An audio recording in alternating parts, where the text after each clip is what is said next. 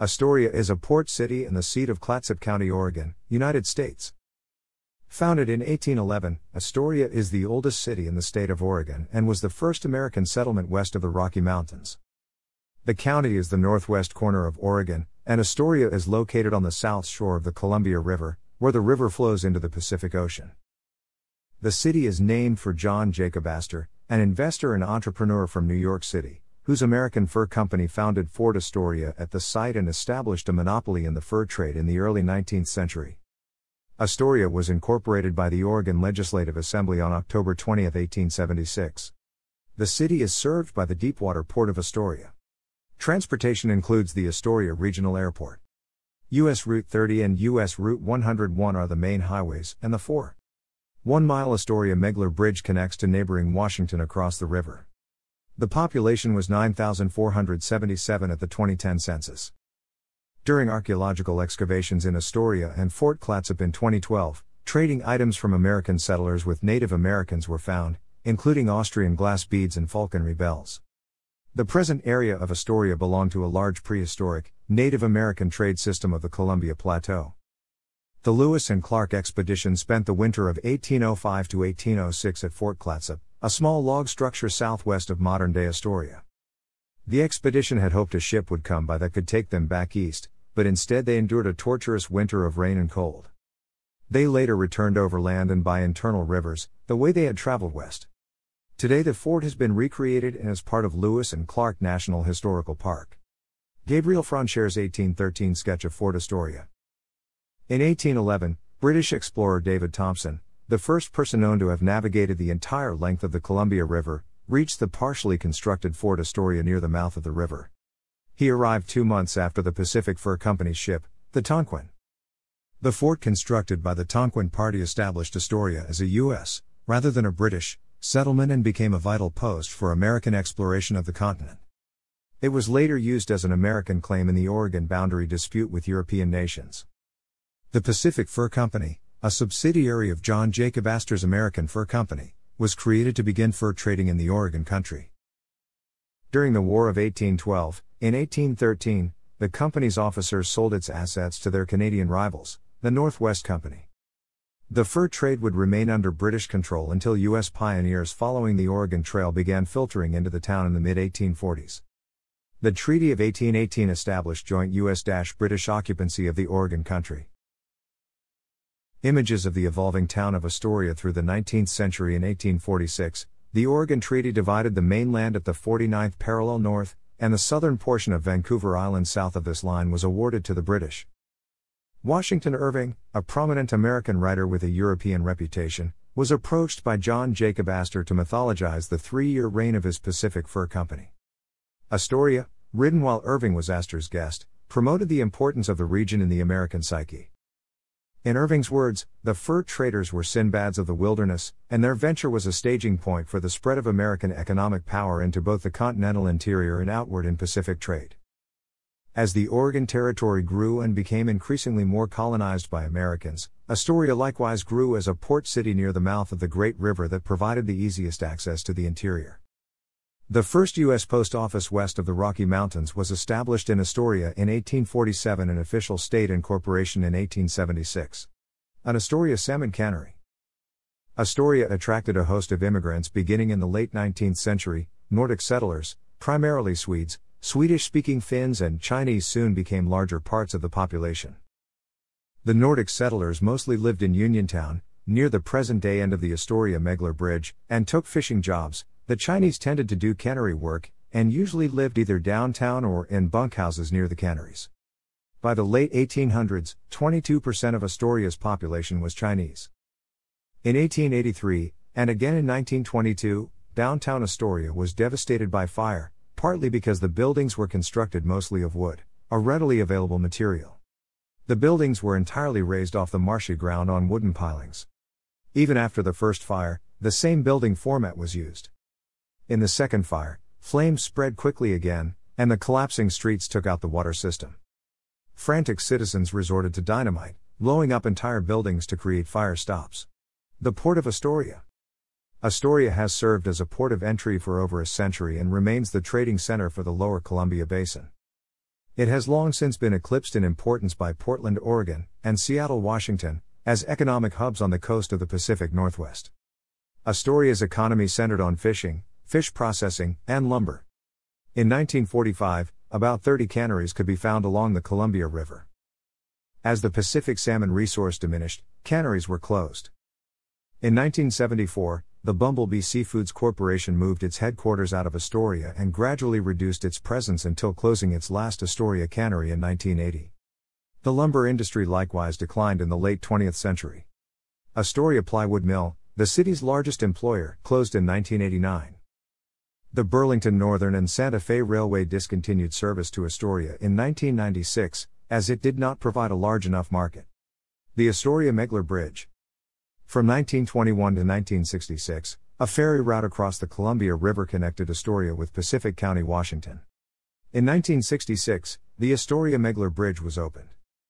The bridge completed U.S. Route 101 and linked Astoria with Washington on the opposite shore of the Columbia, replacing the ferry service. Today, tourism, Astoria's growing art scene, and light manufacturing are the main economic activities of the city. Logging and fishing persist, but at a fraction of their former levels. Since 1982, it has been a port of call for cruise ships, after the city and port authority spent $10 million in pier improvements to accommodate these larger ships. To avoid Mexican ports of call during the swine flu outbreak of 2009, many cruises were rerouted to include Astoria. The floating residential community MS The World visited Astoria in June 2009. The town's seasonal sport fishing tourism has been active for several decades. Visitors attracted by heritage tourism and the historic elements of the city have supplanted fishing in the economy. Since the early 21st century, the microbrewery slash brewpub scene and a weekly street market have helped popularize the area as a destination. The Astoria Column. In addition to the replicated Fort Clatsop, Another point of interest is the Astoria Column, a tower 125 feet high, built atop Coxcomb Hill above the town. Its inner circular staircase allows visitors to climb to see a panoramic view of the town, the surrounding lands, and the Columbia flowing into the Pacific. The tower was built in 1926. Financing was provided by the Great Northern Railway, seeking to encourage tourists, and Vincent Astor, a great grandson of John Jacob Astor, in commemoration of the city's role in the family's business history and the region's early history. Since 1998, artistically inclined fishermen and women from Alaska and the Pacific Northwest have traveled to Astoria for the Fisher Poets Gathering, where poets and singers tell their tales to honor the fishing industry and lifestyle. Another popular annual event is the Dark Arts Festival, which features music, art, dance, and demonstrations of crafts such as blacksmithing and glassblowing, in combination with offerings of a large array of dark craft brews. Dark Arts Festival began as a small gathering at a community art space. Now Fort George Brewery hosts the event, which draws hundreds of visitors and tour buses from Seattle. Astoria is the western terminus of the Trans America Bicycle Trail, a 4,250 mile coast to coast bicycle touring route created in 1976 by the Adventure Cycling Association. Three United States Coast Guard cutters, the Steadfast, Alert, and Elm, are homeported in Astoria. According to the United States Census Bureau, the city has a total area of 10. 11 square miles, of which 6. 16 square miles is land and 3. 95 square miles is water. Astoria lies within the Mediterranean climate zone, with cool winters and mild summers, although short heat waves can occur. Rainfall is most abundant in late fall and winter and is lightest in July and August, averaging approximately 67 inches of rain each year. Snowfall is relatively rare, averaging under 5 inches a year and frequently having none. Nevertheless, when conditions are ripe, significant snowfalls can occur. Astoria is tied with Lake Charles, Louisiana, and Port Arthur, Texas, as the city with the highest average relative humidity in the contiguous United States. The average relative humidity in Astoria is 89% in the morning and 73% in the afternoon. An aerial view of the city annually, there are an average of only four.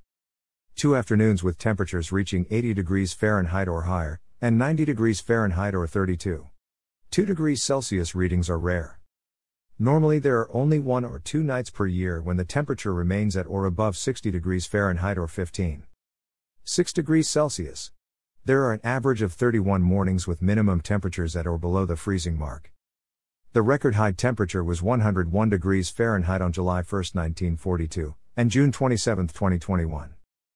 The record low temperature was 6 degrees Fahrenheit on December 8, 1972, and on December 21, 1990. There are an average of 191 days with measurable precipitation. The wettest water year, defined as October 1 through September 30 of the next year, was from 1915 to 1916 with 108. 04 in and the driest from 2000 to 2001 with 44. 50 in. The most rainfall in one month was 36. 07 inches in December 1933, and the most in 24 hours was 5. 56 inches on November 25, 1998. The most snowfall in one month was 26. 9 in in January 1950, and the most snow in 24 hours was 12. 5 in on December 11, 1922. As of the 2010 census, there were 9,477 people, 4,288 households, and 2,274 families residing in the city.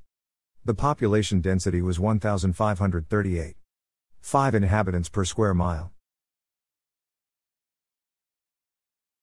There were 4,980 housing units at an average density of 808. 4 per square mile. The racial makeup of the city was 89. 2% white, 0. 6% African American, 1. 1% Native American, 1. 8% Asian, 0. 1% Pacific Islander, 3. 9% from other races, and 3. 3% from two or more races. Hispanic or Latino of any race were 9. 8% of the population. There were 4,288 households, of which 24. 6% had children under the age of 18 living with them, 37. 9% were married couples living together, 10. 8% had a female householder with no husband present, 4. 3% had a male householder with no wife present, and 47. 0% were non families. 38. 8% of all households were made up of individuals, and 15. 1% had someone living alone who was 65 years of age or older. The average household size was 2. 15 and the average family size was 2. 86. The median age in the city was 41. 9 years. 20. 3% of residents were under the age of 18. 8. 6% were between the ages of 18 and 24. 24. 3% were from 25 to 44. 29. 9% were from 45 to 64. And 17. 1% were 65 years of age or older. The gender makeup of the city was 48. 4% male and 51. 6% female. As of the 2000 census, there were 9,813 people, 4,235 households, and 2,469 families residing in the city. The population density was 1,597. 6 people per square mile. There were 4,858 housing units at an average density of 790. 9 per square mile. The racial makeup of the city was 5. 98% of the population were Hispanic or Latino of any race. 14. 2% were of German, 11. 4% Irish, 10. 2% English, 8. 3% United States or American, 6. 1% Finnish, 5. 6% Norwegian, and 5. 4% Scottish ancestry according to the 2000 United States Census. There were 4,235 households, out of which 28. 8% had children under the age of 18 living with them, 43. 5% were married couples living together, 11. 2% had a female householder with no husband present, and 41. 7% were non families. 35. 4% of all households were made up of individuals, and 13. 6% had someone living alone who was 65 years of age or older. The average household size was 2. 26 and the average family size was 2. 93. In the city, the population was spread out, with the median age was 38 years. For every 100 females, there were 92. 3 males. For every 100 females age 18 and over, there were 89. 9 males. The median income for a household in the city was $33,011, and the median income for a family was $41,446. Males had a median income of $29,813 versus $22,121 for females. The per capita income for the city was $18,759. About 11. 6% of families and 15. 9% of the population were below the poverty line, including 22. 0% of those under age 18 and 9. 6% of those age 65 or over. Astoria operates under a council manager form of city government. Voters elect four councilors by ward and a mayor, who each serve four year terms. The mayor and council appoint a city manager to conduct the ordinary business of the city. The current mayor is Bruce Jones, a retired U.S. Coast Guard captain, who took office in January 2019. His predecessor, Arline LaMear, served from 2015 to 2018. The Astoria School District has four primary and secondary schools, including Astoria High School. Clatsop Community College is the city's two year college. The city also has a library and many parks with historical significance, plus the second oldest Job Corps facility in the nation. The Astorian is the main newspaper serving Astoria. It was established nearly 149 years ago, in 1873, and has been in publication continuously since that time. The Coast River Business Journal is a monthly business magazine covering Astoria, Clatsop County, and the Northwest Oregon coast. It, as with the Astorian, is part of the EO Media Group family of Oregon and Washington newspapers. The local NPR station is KONE 91. 9, and KAST 1370 is a local news talk radio station. The old Clatsop County Jail, used in the first scene of the film The Goonies. The site is now home to the Oregon Film Museum. It is claimed that the actor Clark Gable began his career at the Astoria Theater in 1922. Leroy. Ed Parsons, called the father of cable television, developed one of the first community antenna television stations in the United States in Astoria starting in 1948. The early 1960s television series Route 66 filmed the episode entitled One Tiger to a Hill in Astoria. It was broadcast on September 21, 1962. A scene in the Real Thing episode 2 of season 5 of the television series Eureka was set in Astoria. The character Jo Lupo parks her vehicle in an unauthorized location while she is meditating on the ocean front. A tow truck is called to remove the vehicle. A law enforcement officer whose shoulder clearly displays a patch that reads Astoria, Oregon speaks to Jo about the parking violation. Shanghaied in Astoria is a musical about Astoria's history that has been performed in Astoria every year since 1984. In recent popular culture, Astoria is most famous for being the setting of the 1985 film The Goonies, which was filmed on location in the city. Other notable movies filmed in Astoria include Short Circuit, The Black Stallion, Kindergarten Cop, Free Willy, Free Willy 2, The Adventure Home. Teenage Mutant Ninja Turtles 3, Benji the Hunted, Come See the Paradise, The Ring 2, Into the Wild, The Guardian, and Green Room. Pop punk band The Ataris' fourth album was titled So Long, Astoria as an allusion to the Goonies. A song of the same title is the album's first track. The album's back cover features news clippings from Astoria, including a picture of the port's water tower from a 2002 article on its demolition. Pop punk band Marianas Trench have an album titled Astoria. The band states the album was inspired by 1980s fantasy and adventure films, and the Goonies in particular. That film inspired the title, as it was said in Astoria, the album's artwork, as well as the title of their accompanying U.S. tour. Astoria is featured as a city in American Truck Simulator, Oregon. In the series finale of the TV show Dexter, the title character, Dexter Morgan, ends up in Astoria as the series ends. Two U.S. Navy cruisers were named USS Astoria, a New Orleans class heavy cruiser and a Cleveland class light cruiser. The former was lost in the Pacific Ocean in combat at the Battle of Savo Island in August 1942, during World War II, and the latter was scrapped in 1971 after being removed from active duty in 1949. The Captain George Flavel House. Astoria has one sister city, as designated by Sister Cities International. Thanks for watching.